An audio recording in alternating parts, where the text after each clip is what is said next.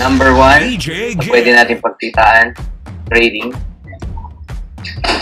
Number two, na pwede natin pagkakitaan, mining, which is also passive income. Diba? And number three is yung active natin, which is summarized below us. Direct referral, 5% from Team A, 10% from Team B. Ang Team A mo is your first 1 to 5.